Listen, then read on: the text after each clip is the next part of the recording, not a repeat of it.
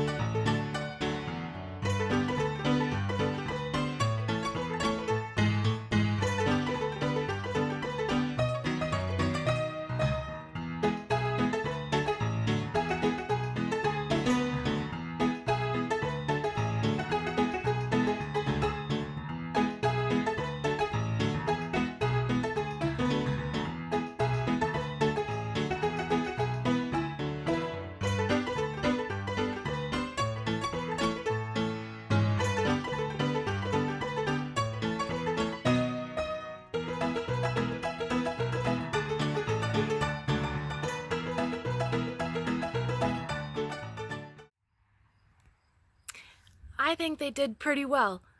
Bob and Faith went through this obstacle without being able to see, and there may have been some hiccups. They both made it through successfully because they had someone that they trusted to be there and help them.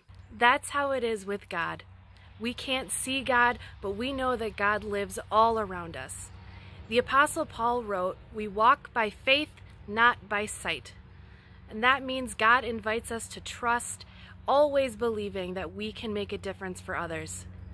We can always feel safe and sure because God has prepared us and gives us the Holy Spirit to help guide us.